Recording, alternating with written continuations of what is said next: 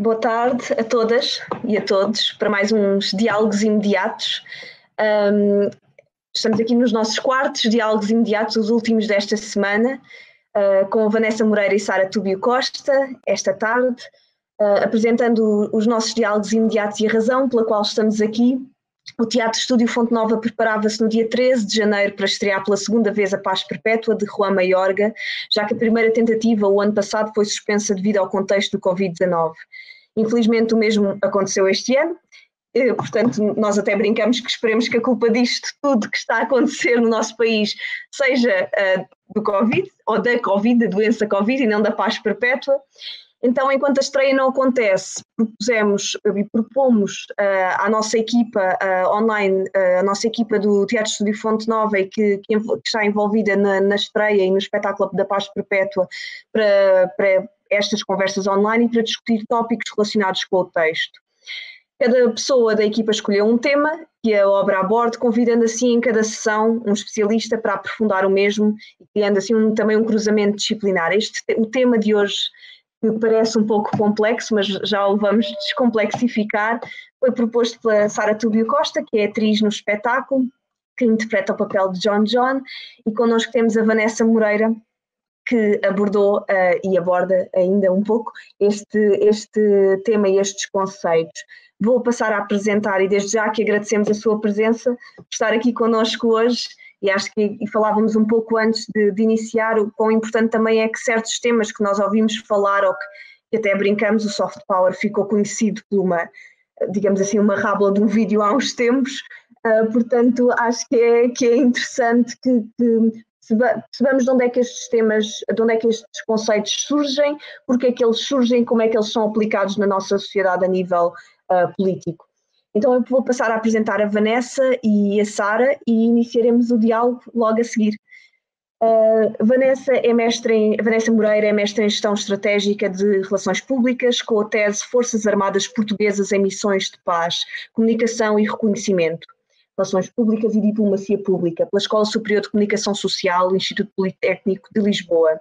É doutoranda em Ciências da Comunicação na Faculdade de Ciências Sociais e Humanas da Universidade de Lisboa, com foco na área de Comunicação e Ciência. E é, neste momento, coordenadora de Comunicação no INOV, Instituto de Engenharia de Sistemas e Computadores e Inovação.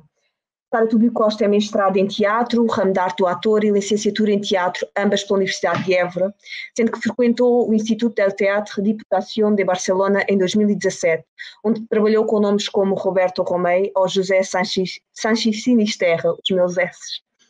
Integrou o espetáculo As Fúrias ou de Como o Pai Venceu a Mãe pela Escola de Mulheres, com a encenação de Fernanda Lapa. Integrou também o espetáculo Quatro Mulheres de Coragem, de Rona Munro, Bruxa Teatro, com a encenação de Figueira Cid. E tem interpretado diversos espetáculos do Teatro Estúdio Fonte Nova, como é o caso agora com A Paz Perpétua. É professora e formadora de teatro desde 2010 e de movimento no âmbito dos cursos profissionais de arte de espetáculo. Então passa a nossa primeira pergunta geradora é que conceitos são estes de soft power e hard power e como é que eles se relacionam com a paz perpétua. Passo a palavra à Vanessa, muito obrigada mais uma vez, Vanessa, e depois abrimos o, o diálogo para, para perceber um bocadinho como é que ela se relaciona estes conceitos com a nossa paz perpétua. Vanessa, pedia só que fizesse unmute do microfone, se faz favor. Obrigada. Obrigada, está tudo bem. Uh, obrigada, Patrícia. Uh, gostaria, obrigada, Sara, também. Uh, gostaria de ao Teatro Estúdio Fonte Nova pelo amável convite para participar nestas conversas e felicitar-vos também pela iniciativa neste contexto complicado não é? de, de promover esta, estas conversas e o cruzamento aqui de, de áreas diferentes. Relativamente ao conceito de, de soft power e, e, este termo que foi popularizado em 1990 pelo politólogo americano Joseph Nye. E é um, um, termo, um conceito amplamente utilizado na área de política internacional, relações internacionais, e nomeadamente na atividade de diplomacia no âmbito das disciplinas de ciência política, sociologia, filosofia, portanto na combinação destas áreas disciplinares. De facto, o, meu trabalho de mestrado foi na área de relações públicas e, portanto, fazendo a relação entre relações públicas internacionais e diplomacia pública, num paralelismo através de, de, da comunicação enquanto negociação. E de facto, as relações estabelecidas, eh, quer entre pessoas, mas aqui no, no caso de, de Estados eh, ou nações, não são indiferentes a, eh, a, questões de poder pelas quais se regem e que afetam os resultados obtidos por cada uma da, das partes envolvidas. Nesta era de informação, o poder e o exercício desse poder adotam novas formas para que se adaptem a novos públicos também e a novas partes interessadas que são cada vez mais informados e que, por esse acesso à informação, exercem também poder nos governos e sobre os governos. E, portanto, os, os governos, os países adaptam-se a, a esta nova uh, realidade uh, com vista de forma mais eficaz procurarem obter os objetivos que definem nas suas estratégias de política externa. E, portanto, o soft power aparece aqui em oposição ao poder a que neste, nesta comparação se chama de hard power. Hard power está uh, relacionado com medidas de coerção. Nós estamos habituados a, relacionar o hard power com a força, não é? O uso da força uh, perante, uh, perante os outros. Portanto, os governos, através de medidas de coerção, exercem o seu poder Pronto, portanto, força militar, força económica do ponto de vista de imposição de sanções ou embargos a produtos de outros países. Portanto, aqui no hard power há sempre uh, uma ideia muito clara de superioridade, não é? Perante o outro. O, a questão do, do soft power um, é aquilo a que Joseph Nye uh, se refere como o poder de atração. É? Em, em, oposição a esta forma de poder coercivo, a perspectiva de Joseph uh, Nye com o soft power é esta capacidade de afetar os outros para obter resultados um, através da atração e não do, do pagamento ou da sanção. É? Um, considerando então que o poder é esta capacidade de um agente afetar os outros com vista a, a obter os resultados que, que deseja. Uh, no hard power, uh, o Joseph Nye refere-se uh, à coerção ou ameaças, que ele chama de sticks, não é? os paus, ou através de incentivos ou pagamentos, que ele chama de carrots, a cenoura. Portanto, o hard power funciona com dois, estas duas esferas, não é? A violência, se assim quisermos, os paus, o stick, ou o pagamento, a cenoura que, que, que, ou a sanção que se dá ou retira. É? E, portanto, para Joseph Nye, o soft power é mais do que exercer influência sobre o outro, uh, ou do que o persuadir, ou, do, ou mais do que persuadir pela argumentação. Embora passe também por isto, a originalidade do soft power é a capacidade, de facto, de aliciar e atrair o outro. Portanto, soft power é este poder de atração, é poder de, de negociação é? Se no hard power nós vemos aqui uma ideia, talvez não de destruição, mas de anulação do outro ou da capacidade do outro, no soft power nós vemos um, um desejo de reconhecimento do outro. Portanto, eh, é muito mais comunicação, muito mais negociação para encontrar pontos comuns eh, eh, e causas comuns. E isto é muito mais o que os países hoje em dia fazem nas suas relações, ou, ou, tentam utilizar muito mais este, esta capacidade de atração, esta capacidade para a colaboração para causas comuns e.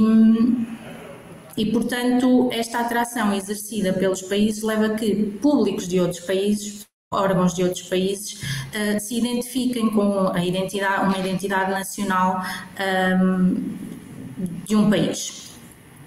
Portanto, uh, Autores referem também que a atração do soft power provém não só da sua influência cultural ou construção narrativa, mas fundamentalmente dos investimentos afetivos uh, nas imagens de identidade que um país produz. É? Um, e o soft power decorre de três recursos fundamentais para a NAI, a sua cultura, portanto a cultura de um país, os valores políticos do próprio país e as suas políticas uh, externas. políticas. Neste sentido, o, o governo de um, de um país exerce poder de forma eficaz recorrendo a estas dimensões soft, eh, quando as suas características culturais têm capacidade para atrair públicos estrangeiros, quando a sua atividade é realizada de acordo com os seus valores políticos e isso é reconhecido externamente, não é? Um, e quando é percebido também externamente o país enquanto detentor de legitimidade e autoridade moral para o exercício das suas funções. A avaliação do poder pode ser feita em termos de resultados comportamentais ou de recursos desse mesmo poder. No caso do soft power, esta diferença é importante para entender a relação nas relações diplomáticas. É? No que diz respeito aos, a estes recursos de soft power, eles são vistos pelos países como ativos capazes de produzir a atração que define o próprio país e o poder que tem. Não é? Um,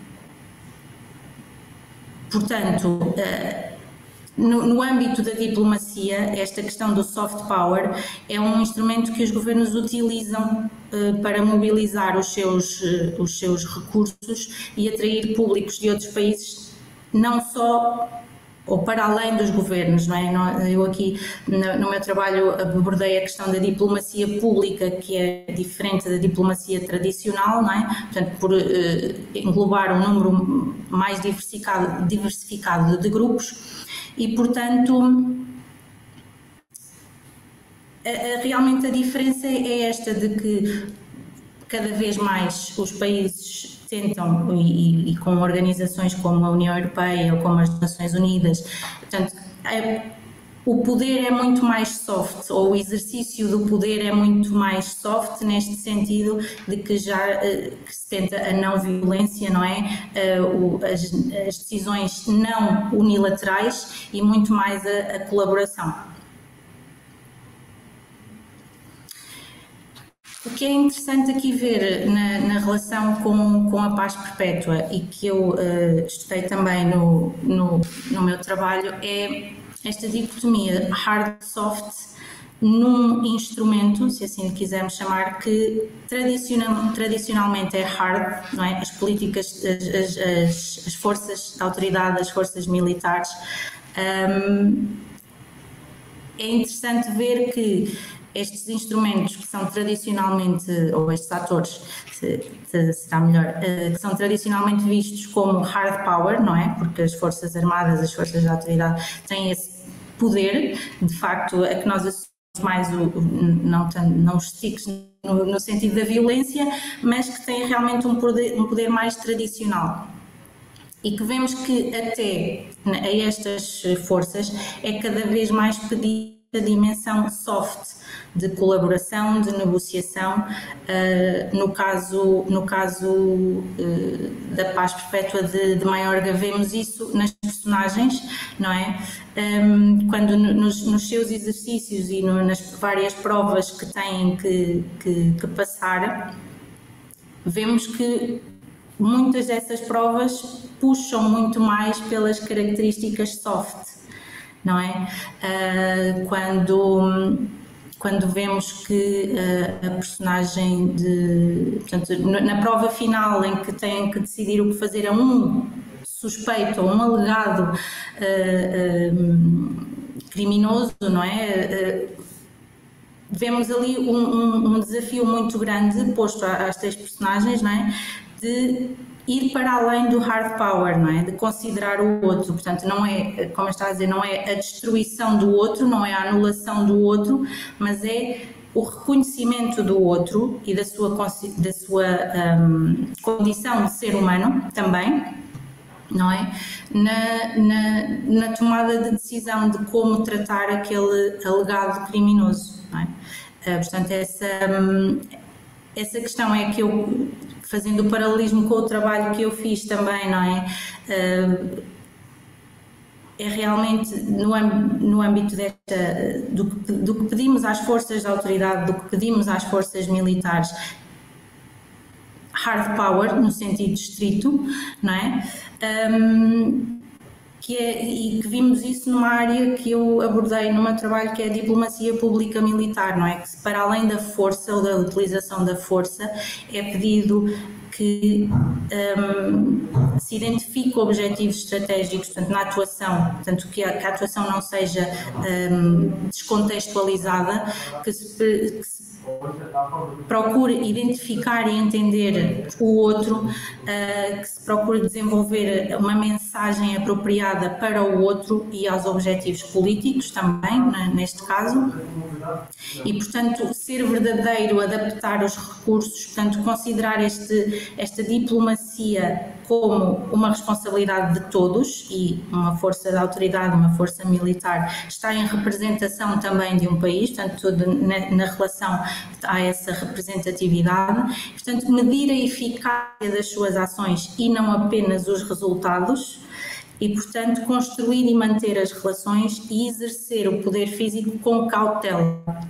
Portanto, é isto cada vez que se, que se pede, e, por exemplo, no âmbito das, das Forças Armadas em missões de paz, que eu, foi o objeto de, de, do meu trabalho, um, há realmente esta passagem muito mais do hard power para o soft power, portanto, em, em missões de paz e que, que, que se relacionam muito mais com questões de direitos humanos, de, de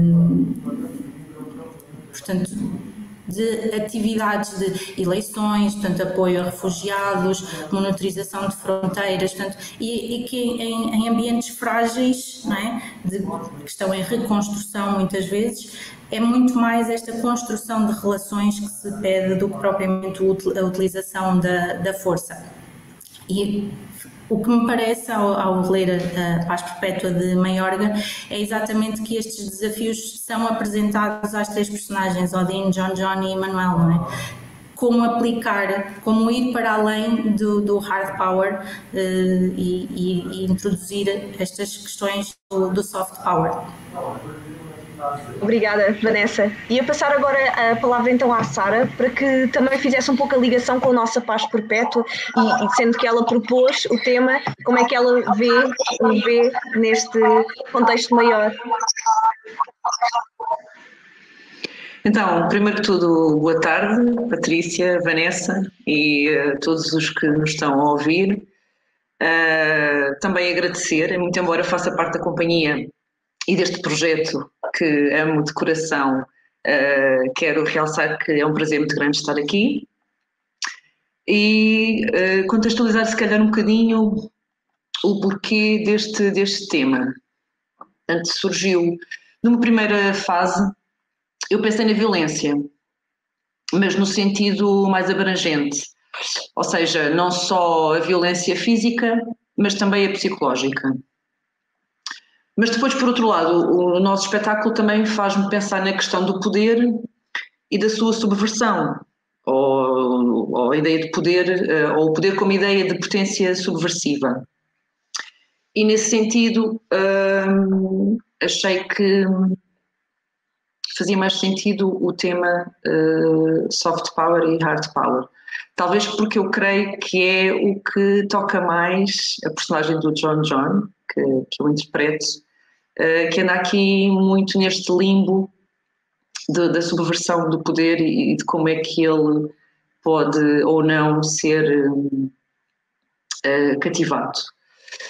Um, talvez dando um bocadinho de continuidade à, à linha de pensamento da, da Vanessa e da pergunta que foi lançada sobre que conceitos são estes de, de soft power e hard power e como se relacionam com a, com a paz perpétua.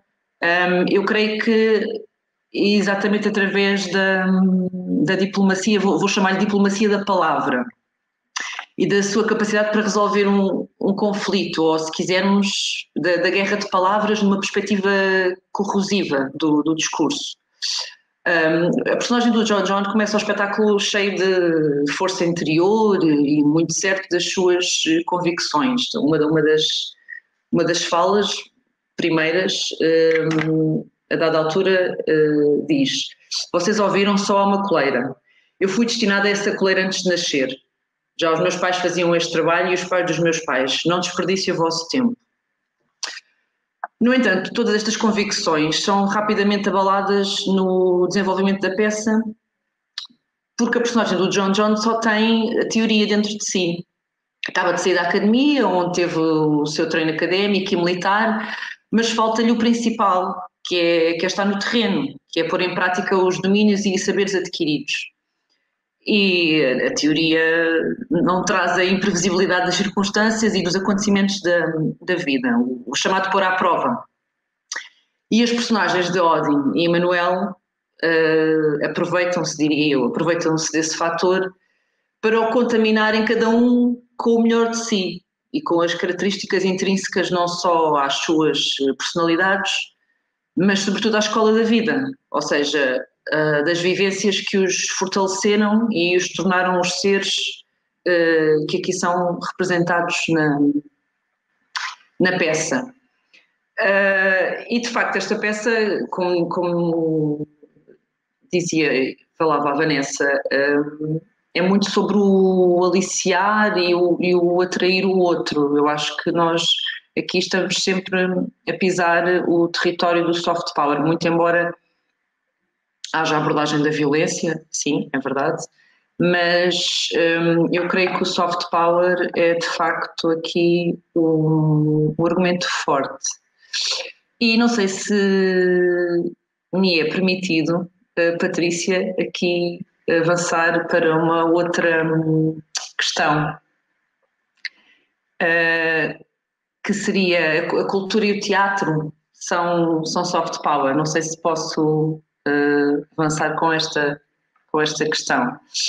Um, o que é que eu gostava de dizer sobre isto? Este, este texto é, em primeira instância, um texto que me, que me provoca, enquanto atriz, que me provoca inquietações e, e nesse sentido, a subversão do poder ou, ou a sua capacidade de concretizar-se como uma potência subversiva no, no comportamento humano interessou-me muito. E este texto é, é exemplo disso. Um, e por sua vez, que desafios é que me trouxe como atriz? Né? Coloco também esta, esta questão. O da comunicação, não só entre atores, mas também com o público, que é um desafio que ainda está por vir, porque ainda não estreamos, mas é exatamente o da comunicação, não só entre atores, mas também com o público, um, o que me remeteu também para este universo do, do soft power. Isto considerando a comunicação como uma negociação que tanto pode levar eh, para o bem como para o mal. E eu penso que passa igualmente para o público, não só pelo texto que traz esta carga inerente, mas sobretudo pela abordagem cênica do, do encenador, José Maria Dias. Ou seja, pela proposta de encenação, onde é dada a proximidade, onde dada a proximidade com o público, um, eu creio que é possível sentir as pulsações do texto numa perspectiva mais sensitiva. Quase que é possível cheirar os atores. E nesse sentido transpiramos o texto em conjunto, com todas as suas eh, camadas e temáticas. Uh, o que é que eu quero dizer com isto? Acho que que é dada a oportunidade ao espectador de, de se sentir enjaulado nesta questão do poder e de se questionar sobre o seu e o nosso posicionamento face ao poder. Uh, como nos relacionamos com ele e como o deixamos influenciar a nossa conduta pessoal e profissional. Um, eu, eu creio que a encenação também nos posiciona a nós, enquanto atores, e a, a mim, enquanto atriz, em lugares diferentes o, o facto de termos uma jaula como proposta cenográfica um, tem-me feito pensar também no confinamento e nas restrições todas que estamos a viver na atualidade e de como por vezes queremos transgredi-las. E, e, a transgressão também é uma forma de poder, um, porque decidir é poder. E quem tem poder pode decidir e manipular a palavra e, por sua vez, as pessoas. E a manipulação da palavra é efetivamente uma grande forma de, de poder. A, a linguagem é, é, de facto um poder extraordinário, porque hum, a manipulação leva-nos a caracterizar o outro, para o bem e para o mal, eh, e a poder julgar conquistando a razão ou a possibilidade de um lado prevalecer face ao outro pelo simples uh, poder da palavra. Um, e uh, o John John, a personagem do John John, uh, eu creio que é aqui um bocadinho uma vítima de, do poder, porque está um, constantemente a ser posto à prova com os discursos cativantes, digamos assim, quer do Emmanuel, talvez numa perspectiva mais soft, mais de atração, quer do ódio, numa perspectiva mais hard, diria eu, e mais assumidamente feroz. E o John John é um alvo mais fácil de manobrar ou de, de, cativar por ser o mais novo e por ter ainda pouca experiência da vida e, e poucas experiências que o permitam contra-argumentar com a mesma convicção. Um, eu diria que é a personagem mais, uh, mais ingênua ou mais uh, pura ou com menos defesas para lidar com todos os soft e hard powers que o possam um, confrontar. E queria também partilhar convosco que, a dada altura, dei comigo a pensar que hum, se houvesse um julgamento durante o espetáculo onde o público fosse convidado a votar uh, e a tomar partido de uma das partes, eu creio que ficaríamos surpreendidos com o, com o resultado das votações e com as posições que tomariam. Não só pela capacidade aliciante da palavra, um, mas também porque se nos levarem a uma situação extrema cuja decisão final pode ser continuarmos a viver ou, ou morrermos, eu creio que isto pode mudar radicalmente a nossa posição face a uma, a uma decisão final que pode ir contra os nossos princípios ou aquilo em que verdadeiramente acreditamos estar certo.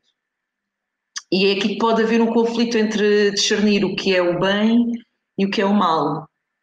Quero atingir o bem, mas uh, para o alcançar tenho de fazer um, um caminho por lugares sombrios e com ações perigosas. O que é que prevalece? Uh, o, que é que, o que é que é mais importante? Atingir o bem, no matter what? Ou ficarmos pelo caminho porque não conseguimos passar um, por determinado, não, não, não, conseguimos passar por cima de determinado tipo de valores? Um, são questões que eu tenho e, que não, e para as quais não tenho uh, resposta, são, são questões que, que partilho uh, convosco, com todos, e hum, acrescentar que eu acho que este texto também é, é maravilhoso porque tira, de certa forma, as máscaras sociais das personagens. Portanto, eu considero que déspias e conseguimos encontrar o verdadeiro eu, digamos assim, de cada uma delas, ao expor tão, tão claramente como o comportamento pode ser afetado um, pelo poder do discurso e da comunicação. Um, era isto que eu queria dizer. Obrigada, Sara, e obrigada, Vanessa. Há aqui várias ideias. Pedia só, Sara, para, para fazeres mute ao microfone, só chamar. Para... Obrigada. Um, acho que há aqui várias ideias que, que surgiram e que podemos acrescentar e seguramente podemos continuar em diálogo, tanto com a Vanessa a responder, e há aqui várias questões que, que me surgem, um, que é uh, relacionadas relacionado com esta questão, que, e também tem a ver um pouco, e acho que podemos falar aqui, uh, se o soft power não consegue ser mais perverso que o hard power, por vezes. Uh, e não consegue. Há uma, uma palavra aqui que a Sara também utilizou, que é a questão da manipulação, não é? Porque não, acaba por muitas das vezes não ser transparente. O soft power acaba por ser muito mais uh, uh, encoberto. E é muito interessante, pronto, que quem cunhou este termo de soft power, como muito bem a Vanessa disse, foi Joseph Nye, e Joseph Nye também, pronto, estudou e é um dos precursores do, do neoliberalismo. E uh, como é que o soft power interessa também perceber, e, e, eu acho que a paz perpétua também é um espelho do nosso sistema, não é? Um sistema muito pouco, às vezes, claro e pernicioso relativamente uh, às pessoas, e, e, é verdade que as questões de poder e de relações de poder estão muito presentes na nossa sociedade. Quem é que pode falar, quem é que tem a fala, e, e, surgiram também muito nesta paz perpétua. A segunda conversa que tivemos com o senador José Maria Dias foi mesmo a prepotência de poder.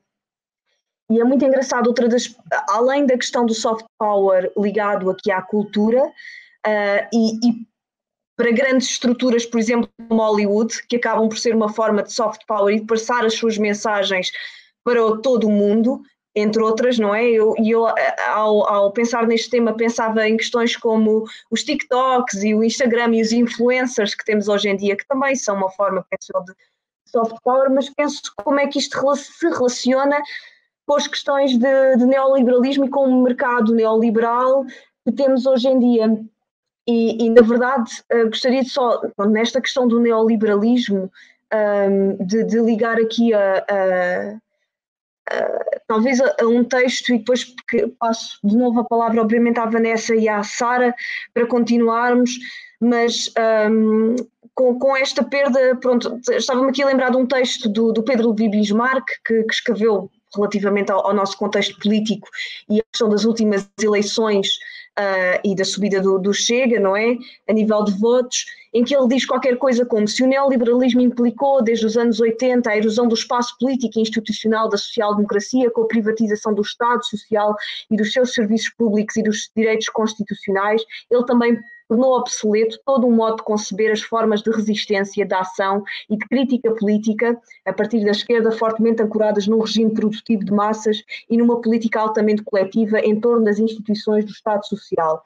O neoliberalismo apenas uh, não afirma apenas o individualismo na lógica económica de desigualdade, mas faz dele um princípio político absoluto. Portanto, para mim, a minha questão aqui também para pormos em cima da mesa é de que forma é que este soft power ajuda a acentuar esta questão também de um neoliberalismo na nossa sociedade e que nos ajuda a adormecer mais do que propriamente a, a, a criticar. Vou passar então a palavra. Obrigada. Um, eu posso aqui, uh, pegando na, também na, na, questão que, que a Sara colocou, claramente cultura é um, um instrumento de soft power uh, nos países, é? na, na, na, afirmação da sua identidade e como a, a, Patrícia dizia, Hollywood é a maior máquina de soft power ao serviço de, dos Estados Unidos, não é? Porque, como eu costumo dizer, quando, quando fui a, a Nova York, eu para mim eu já conhecia Nova York quando lá estive, não é? Porque já, já era tudo igual aos filmes, portanto é um, um grande instrumento de, de, software, portanto a cultura sim, uh, o intercâmbio cultural entre, entre países é, é claramente um, um instrumento, portanto tudo que, todos os instrumentos que nós vemos de colaboração, de, de intercâmbio entre países, portanto, festivais internacionais de teatro, em que várias companhias vão uh, apresentar as suas, as suas peças, portanto, e que levam consigo o país de origem, não é? Nós também,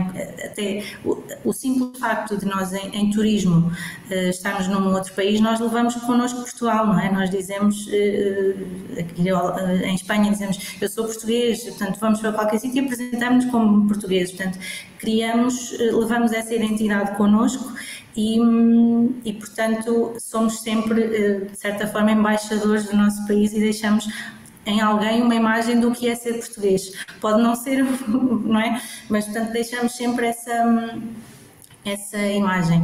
Temos vários programas de, de soft power, o, o, o, programa de intercâmbio Erasmus é claramente um, um, um, instrumento de soft power, portanto, intercâmbio entre pessoas de, de países diferentes para, este, para um processo de aculturação, é? de estar um, uma temporada num país e, e, e, absorver também a identidade. Um, relativamente às questões da manipulação, do soft power poder ser aqui um bocadinho mais obscuro. Um, é algo que, que, para a área de comunicação são, sempre um bocadinho acusados disso, não é? Porque a comunicação é sempre acusada de alguma manipulação, de, de estar a, a, esconder. Eu acho que é, é, tem mais a ver com, com o processo de, de negociação e, portanto, é claro que no, eh, num processo de negociação, eh, por norma, eh, as cartas não se põem todas na mesa, não é? Portanto, é questão de realmente, em, em comparação com o hard power, um, parece um bocadinho menos claro, não é? Porque os processos de negociação são, são assim mesmo, não é? Um, claro que há sempre aqui esta ideia de, de entrar em relações de colaboração e, e, portanto, quando se quer colaborar, apesar de, de, de ser praticamente impossível. Portanto, são partes diferentes eh, envolvidas num processo de negociação, portanto, é impossível terem exatamente os mesmos interesses, exatamente a mesma forma de chegar aos objetivos. Portanto, é aqui que entra a questão da negociação. Não sei se é manipulação, eu não, não, não gosto de, de, de pessoalmente de, de associar com a manipulação, mas é algo que porque vejo como natural. Portanto, vejo como natural que neste processo de negociação há alturas em que uma parte fica mais. Uh, eh, um, mais satisfeita do que outra, mas nesta questão também das negociações e das relações eh, deve ser visto sempre a longo prazo, não é? Portanto, e o, o objetivo sendo de longo prazo é natural que no caminho para lá chegar, umas vezes uns fiquem mais contentes e outros fiquem menos, mas é, é isso que, que se quer na, no processo de negociação. O que é interessante aqui, que pegando na personagem do, do John John e que, e que eu percebi agora ainda melhor com, com a explicação da Sara sobre a personagem. O John John será um, um será um, a personagem perfeita para aquilo que, que se combina agora, se, se define agora como smart power, que é de facto a combinação de hard power e de, de, de soft power, não é? Um, e, por, e, eu trago para aqui isto porque Kant, na, na, na sua obra, não é? Perpétua, um, um dos, dos, dos, princípios é que os exércitos deveriam deixar de, eventualmente deixariam de existir, não é? Nesta paz perpétua, que, que não, é um, não é uma trégua, não é? Porque a trégua pressupõe que a paz uh, uh, irá, irá terminar, não é? Portanto, nesta paz perpétua, os exércitos deixariam de ser necessários. De facto, vemos que haverá sempre necessidades de, de defesa e de segurança, mas que, o que vemos é que, de facto, é este, mesmo estas forças de defesa e de segurança é muito mais exigido, portanto, este, este soft power. E, e foi em 2011 que Hillary Clinton popularizou este termo Smart Power, que foi muito bem recebido na altura por, por Joseph Nye, porque foi em 2011, portanto, o, os Estados Unidos vinham da. Já, já, já tinha começado a administração Obama, que fez muito uso do, do, do soft power, mas vinham de uma administração de George W. Bush, que deixou um bocadinho o, soft power de lado e, e, e, avançando uns anos estamos exatamente no mesmo, na mesma situação, não é? Nos Estados Unidos, que com a administração de Trump o soft power foi novamente relegado e, portanto, agora eh, a nova administração irá puxar novamente pelo, pelo soft power. E, portanto, na altura, em 2009, Hillary Clinton dizia que realmente o que, o que iriam fazer era um, uh, aplicar todas as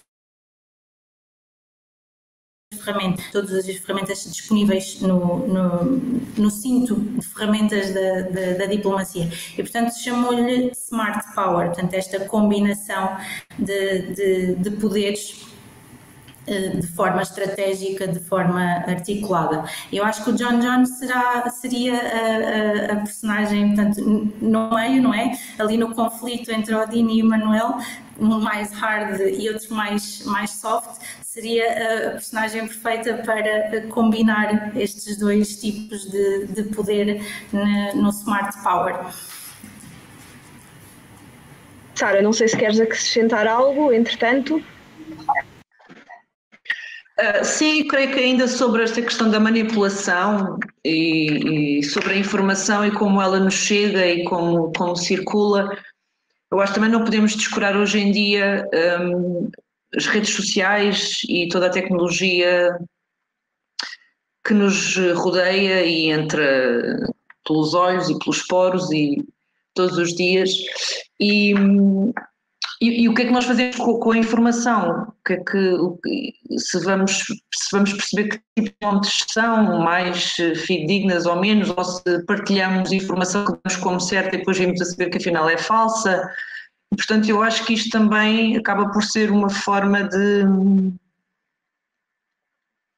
Não sei se de soft power, se de hard power, depende depois das consequências que essa informação possa ter e onde, onde vai chegar mas creio que, que hoje em dia, de facto, uh, o que fazemos com a informação, como ela nos chega, uh, que um, pode assumir outras proporções. Uh, ainda há pouco tempo circulava um, um documento que previa o, o plano de que depois rapidamente se perceber que era falso mas que entretanto houve imensas partilhas, houve reações um, e podemos questionar se foi um documento um, que circulou com o intuito de provocar reações ou não, ou circulou porque simplesmente houve uma fuga de, de informação. E aqui faz-me outra vez pensar sobre se isto é uma hipótese de, de soft power, ou hard power. Um, não sei, tenho, tenho também questionado um pouco sobre esta relação da informação e como ela nos chega e o que é que nós eh, fazemos, que triagem fazemos com ela, se é que nos é possível fazer uma triagem eh, genuína e pura ou já imensamente filtrada e manipulada. Volto, termino, termino com a palavra que comecei, manipulação.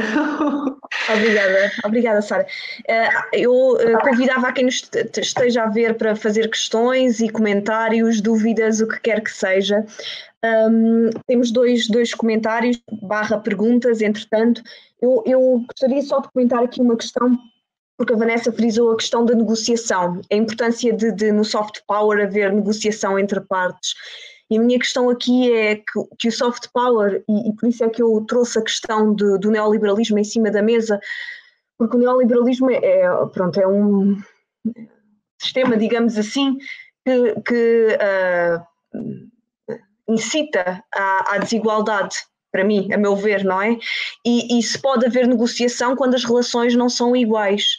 Se, se uh, temos, e a, e a Vanessa tendo estudado a questão das missões de paz, se temos alguém que vem de um país ocidental para um país oriental e cuja posição já é de um poder uh, aparentemente superior, se a relação de negociação pode ser igual, se não existe já aqui uma visão superior uh, e inferior. Nós na paz perpétua temos, obviamente, uma visão uh, e, e trata-se sempre de relações de poder e jogos de poder, mas nós vemos que o Cássius ou o humano, neste caso uma humana, na paz perpétua, estão numa posição de poder superior. E, e se pode haver negociação, mesmo o próprio soft power, não deixa de ser aqui uma questão, às vezes, uh, parece para encobrir uh, uma forma de, de, de, de influência, é uma influência de poder, mas o poder não deixa de ser uh, desigual nesse sentido, eu já vou passar a palavra, nesse sentido, um, temos aqui só duas intervenções. Uh, uma, não será o soft power apenas uma forma dissuasora, chamada de diplomacia ou negociação, usando como ferramenta de uma lesão democrática que o poder abandona quando quer criar exemplos ou castigar agentes que questionam, usando aí o seu hard power. Por exemplo, as intervenções policiais violentas em greves e manifestações sem que exista alguma razão para tal. Esta é a primeira questão do Leonardo, a segunda da Luísa. Que leituras se pode fazer, Luísa Monteiro, que, se, que, leituras se pode fazer a situações como a de Mianmar, onde, onde a própria polícia se vê obrigada a fugir do país porque se recusa a cumprir ordens dos militares de atirar contra manifestantes? Que palavra numa situação em que os militares se sobrepõem ao Estado de modo autista? Neste teatro de guerra, onde os treinados para a ordem são ultrapassados por outros treinados pela ordem, consegue-se ver a metáfora de cão contra cão, com, com o devido respeito à espécie, tal como temos na paz perpétua. Passo agora a palavra às duas, a quem quiser. Obrigada. Uh, eu posso responder uh, uh, na, na, a primeira questão que, que de facto um, as relações de poder são sempre desiguais. portanto, em, em, duas partes, nenhuma está, em duas partes em negociação, será muito raro as duas estarem exatamente no mesmo nível de poder. O que o soft power faz e que é reconhecer o outro, portanto, reconhecer o outro se eu sou a parte aparentemente com mais poder, eu reconhecer no outro esse menor poder e, portanto, trazer isso para a negociação. O hard power não faz isso, na minha visão. O hard power é de facto a anulação do outro. Portanto, eu sou o mais poderoso e, portanto, eu vou ganhar, eu vou anular o outro. O soft power não faz isso porque traz a abordagem de soft power reconhece o outro. E reconhecendo o outro, pode ter de reconhecer que o outro está numa posição de menos poder.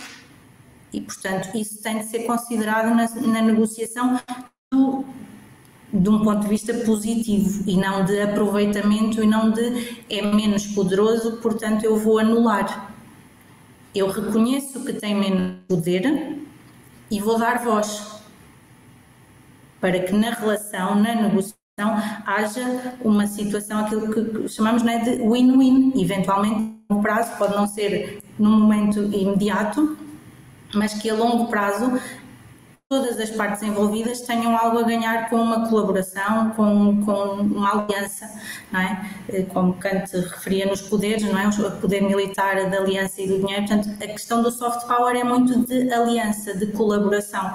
E não há colaboração sem reconhecimento do outro, seja nas suas eh, vantagens como nas suas desvantagens para a relação. E eu acho que é aqui que uh, não vejo o soft power como subversivo ou como manipulação neste sentido, porque é muito de reconhecimento do outro, é de querer realmente saber quem é o outro e trabalhar com o outro como ele é e beneficiando todas as partes envolvidas na, na negociação. Não sei se para a Sara talvez a questão mais uh, focada na, na, na, nas personagens.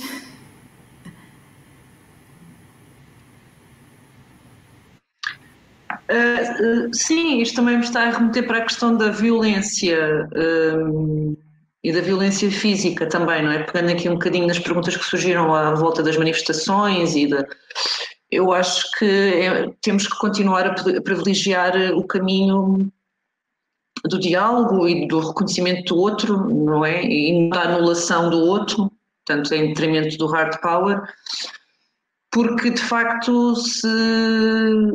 E isso pressupõe termos liberdade de expressão, não é? E, e podermos uh, ter uma voz ativa, porque se a violência prevalecer como, como castigo, como, como uh,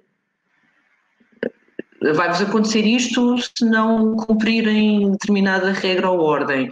Acho que é um caminho muito perigoso. Eu acho que se nós uh, que temos estado a, ver muito e cada vez mais, uh, acho que é um caminho muito perigoso o da anulação do outro, o da anulação do discurso, o da anulação da voz ativa, o do, da liberdade de Estas perguntas e agora o, o, um bocadinho que a Vanessa disse remeteu-me para este para este universo da, da violência e da não capacidade de, de diálogo. Uh, eu, eu, gostaria de fazer também uma pergunta à Vanessa. Sim, uh, uma pergunta à Vanessa nesse sentido, nesta questão do reconhecimento e da não anulação do outro, tendo em conta pronto, que a tese da Vanessa esteve muito relacionada com a questão das missões de paz, de que forma é que este reconhecimento e valorização do outro existe aí.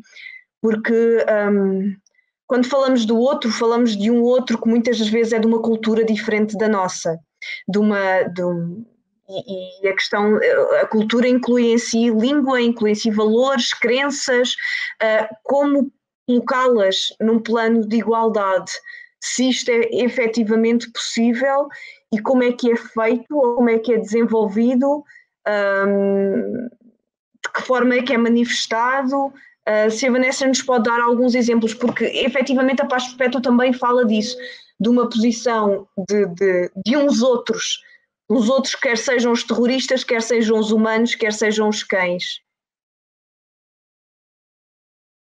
Um o meu trabalho eh, de tese eh, estava relacionado com a questão de, de, de, perceber se realmente se as Forças Armadas portuguesas eram vistas como instrumentos de diplomacia pública, como agentes de diplomacia pública, e de facto chegamos, cheguei à conclusão que chegamos na, no trabalho de que sim, que portanto no, no Conselho Estratégico de Defesa Nacional são realmente assumidas como, como um agente que representa Portugal lá fora, portanto leva a identidade do país, leva consigo o país não é, nas missões em que está. O que tentámos ver no trabalho era se, eh, na área de, portanto, a tese na área de relações públicas e, portanto, era tentámos ver numa análise de imprensa o que é que saía sobre as eh, Forças Armadas Portuguesas em missões de paz. E, e se de facto, se, esta, se nesta dicotomia hard power, soft power, que, que prevalência é que, dá, é que era dada nas notícias que saíam. A conclusão a que chegámos, e foi uma análise curta, portanto era uma tese de mestrado, de, foi uma análise de seis meses de, de imprensa, é que de facto as notícias eram muito uh, focadas no hard power, não é? Enviámos não sei, uh, X pessoas, estão uh, aplicados os recursos Y e Z, portanto era muito hard power. Nestes seis meses encontramos uma notícia de uma iniciativa que era mais soft power, que foi uma, uma iniciativa de, de, um destacamento que visitou um orfanato e foi na altura do Natal, portanto distribuíram prendas eh, às crianças no orfanato, no país em que, em que, em que estavam destacados. Se a questão é se, se é possível uh, trazer para o mesmo nível eh, portanto, de igualdade. Eu não sei se, há, se quer dizer, a, a, paz perpétua é uma ideia interessante, não é? mas hum, não sei se, se, se, é execuível a paz perpétua, não é? Se, porque não sei se alguma vez é possível realmente estarmos todos uh, no mesmo nível de poder, acho que é, é, é uma utopia, não é? Nós não estaremos sempre, mas é possível elevar isso eu acredito que sim, que é sempre possível elevar quem está em, em, em, situações mais fragilizadas. É possível trazer para um nível de mais poder, dando voz realmente. E, e no que a Sara dizia, de facto, eh, as redes sociais, para o bem ou para o mal, não é? porque já é, todos os dias somos bombardeados com muita informação. Informação é poder, mas desinformação também percebemos que é poder, não é? Ou, não é? Portanto. Um, mas acho que é sempre possível e, e, e é algo que, aceitando ou que uma paz perpétua pode não ser possível, que, acho que é bom pelo menos acreditarmos que será sempre possível elevar eh, o plano, elevar o plano de poderes, não é? E tentar que realmente que não haja grandes disparidades de poder. Portanto, tentar aproximar uh, os poderes. Se eles alguma vez serão iguais, tenho dúvidas. Um, é uma ideia bonita e eu gostaria de, de, de, acreditar que sim, mas, mas acho que pelo menos tentar que, que, as, que as disparidades sejam menores, acho que já é um, já é um bom objetivo. E lutar por isso acho que já é, já é um, bom, um bom caminho.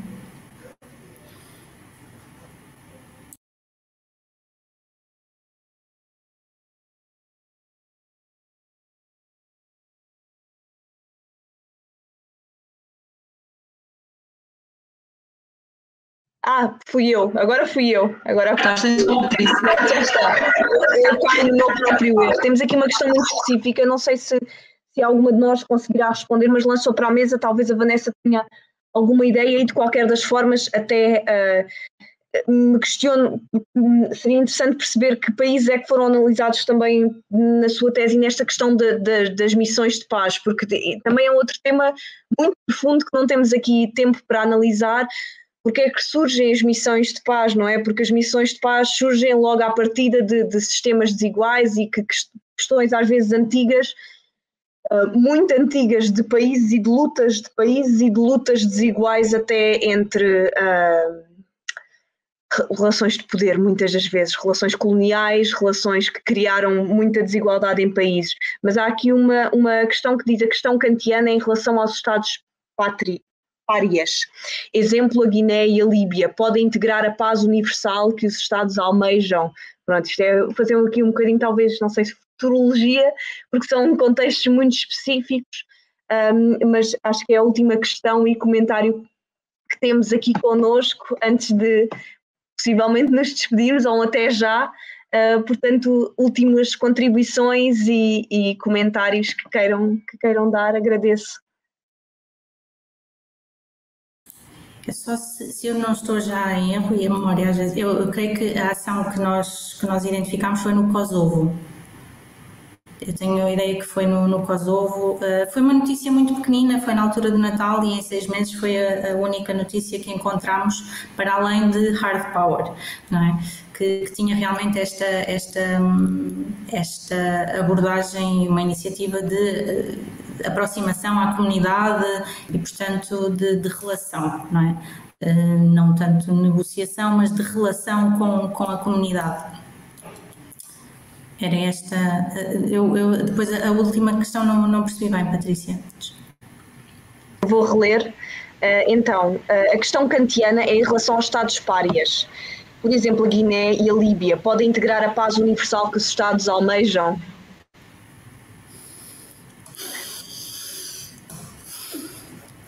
Acho que é uma boa questão.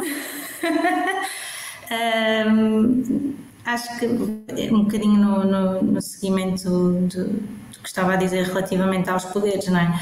Acho que, que é algo que é sempre bom lutarmos por isso. Um, mas sem isso esquecer que há pequenas vitórias que se conseguem uh, antes de chegar à paz perpétua, à paz universal, um, há pequenas vitórias que se vão, que se vão conseguindo e, e, que, e que nos podem pôr nesse caminho. Eu uh, gostaria de deixar aqui para o fim uma. Porque, por acaso é interessante ninguém ter sugerido o tema da, da paz e da. Há um tema que, que nos surgiu que é uh, a geografia da paz, sim, e é interessante esta questão uh, da, da, da paz e da guerra, porque será que é possível? Será que esta questão, pronto, e voltamos aqui a utopias e distopias, mas será que é possível e na verdade será que é desejável? Porque a verdade é que os conflitos e até a violência, como discutíamos na última conversa, também são intrínsecos também são coisas naturais se houver cooperação. Se vivermos numa sociedade em que seja a, a, a, base, seja a cooperação e não a competitividade, provavelmente a questão dos conflitos e da própria violência inerente são geríveis. Não se deixam, uh, não aniquilamos relações, não oprimimos uh, pessoas, mas simplesmente gerimos questões de violência ou questões de, de conflito. Mas, uh, Sara, gostava de dar uh, a última palavra, assim como a Vanessa, para alguns final uh, comentários finais. Final...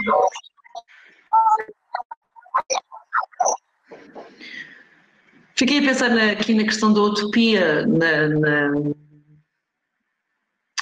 Eu acho que temos que continuar a privilegiar a palavra, as, as, e, a, e, as possibilidades que ela nos traz de, de relações e de, e de expressão e de, e de, não, de não restrição do, do, nosso diálogo e do que e do que volta daí a de, vir.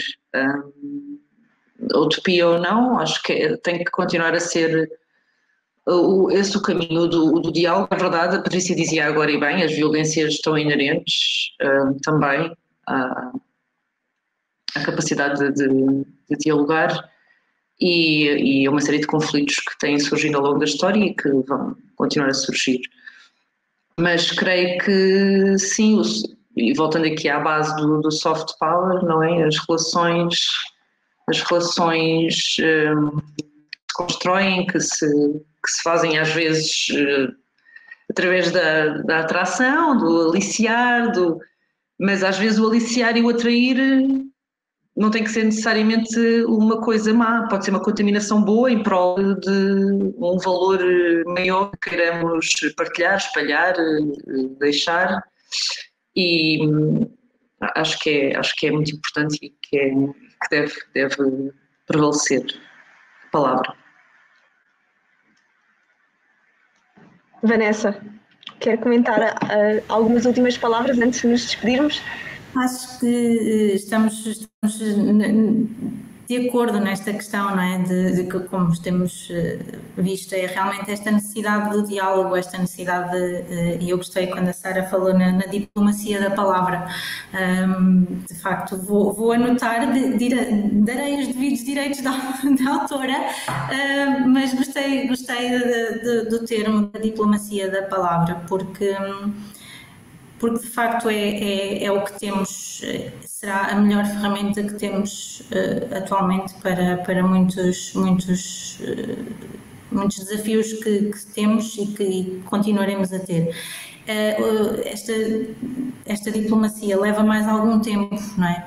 E, e portanto, é, é, por isso que às vezes é um bocadinho descurada, porque o hard power é muito mais rápido, não é? Aparentemente um, depois causa muito mais estragos uh, nesta questão de que corta relações, não é? Destrói, destrói relações. Um, mas acho que é, é, é, importante continuar a lutar por, por, estes, por este diálogo, por ele se manter. É necessário termos em atenção que, enquanto que demorando mais tempo, sendo um processo mais lento, está mais sujeito a outras influências uh, que, que, têm que ser também combatidas pelo diálogo um, e, e, de facto no, no, que falávamos, é? na informação e na desinformação, portanto há aqui também estes, estas duas, eh, estes dois fenómenos a acontecer e que têm que ser geridos, mas acho que é realmente a ideia que fica é realmente isto, que o diálogo é o caminho eh, para seja utopia ou não para a paz perpétua ou a paz universal, não é? Acho que é, okay. é essa a ideia que fica. Obrigada, Vanessa, mais uma vez por ter aceito o nosso convite, este desafio que, eh, de uma área tão dispar do teatro, não é? E das artes. E obrigada, Sara, também por ter estado aqui conosco e esperemos que os governos e que os Estados à volta do mundo que usam hard power estejam a ouvir esta conversa e que passem a utilizar mais a diplomacia da palavra em toda e qualquer relação com, com outros países uh, e, e com outros povos uh, no sentido de cooperarmos cada vez mais. Um, esta semana já não teremos mais nenhuma conversa, terminamos as conversas desta semana. Para a próxima semana conversaremos sobre conflito interno e externo com Rui Aragão Oliveira e com Carlos Pereira.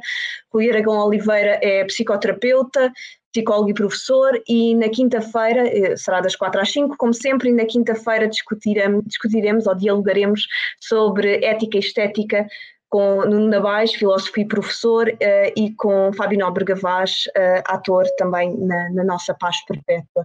Muito gratos por quem esteve uh, a ver hoje nossa, os nossos diálogos e, e, esperemos. Queria fazer aqui um, uma, um anúncio também, que é nós vamos lançar o nosso livro, o Livro da Paz Perpétua, de Juan Maiorga em português, portanto, quem tiver interesse em adquirir pode já fazer as suas, a sua compra antecipada para que depois no, no na estreia, uh, quando puder, pudermos estrear, penso que haverá hoje um plano de desconfinamento, portanto talvez tenhamos algumas novidades sobre isso, uh, possamos também fazer o lançamento do livro, mas fica já aqui o anúncio feito que iremos lançar o livro da Paz Perpétua de Juan Maiorga em português. Muito obrigada, ficamos com o teaser da Paz Perpétua e um até já, até para a semana.